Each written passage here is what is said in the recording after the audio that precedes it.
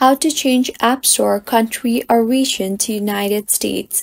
Hello everyone, I am Bishaka and welcome to our channel. Let's get right into the tutorial.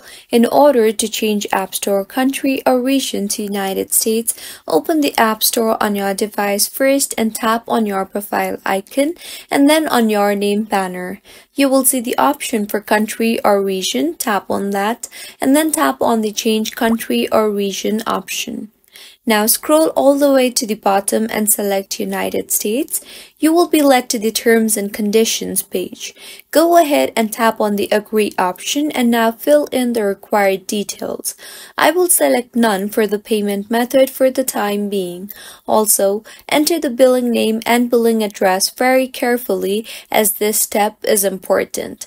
Once done, tap on Next and with this you have successfully changed the App Store country or region to United States. If you find this tutorial helpful, do subscribe to our channel. Thank you for staying with us until the end.